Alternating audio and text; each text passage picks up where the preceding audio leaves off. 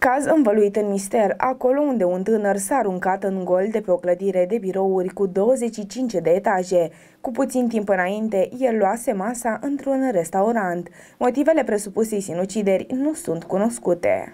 Un bărbat în vârstă de 35 de ani s-a aruncat de la etajul 25 al unei clădiri de birouri din sectorul 1 al capitalei, unde se afla un cunoscut restaurant. Tânărul ar fi luat masa singur cu puțin timp înainte la un restaurant din clădirea cu 25 de etaje, situată în nordul capitalei. La un moment dat s-a ridicat de la masă, a ieșit pe terasă și s-a aruncat în gol de la etaj. Tragedia a avut loc în jurul orei 22, iar apelul la 112 a fost dat de recepționierii complexului. Din păcate, impactul a fost fatal. La fața locului s-au deplasat polițiștii, precum și un echipaj medical, care nu a putut decât să constate decesul. În cursul acestei serii, în jurul orei 22, polițiștii Direcției Generale de Poliție a municipiului București, secția 2, au fost sesizați prin 112 cu privire la faptul că un bărbat s-ar fi precipitat de la terasa unui imobil din sectorul 1. La fața locului s-au deplasat polițiștii precum și un echipaj echipaj medical care a constatat decesul persoanei. În vederea stabilirii cauzelor și condițiilor în care s-a produs decesul, cercetările au fost preluate de parchetul de pe lângă tribunal. În vederea stabilirii cauzelor și condițiilor în care s-a produs decesul, cercetările au fost preluate de parchetul de pe lângă Tribunalul București și Serviciul Omoruri, a anunțat Direcția Generală de Poliție a municipiului București. Trupul neînsuflețit a fost,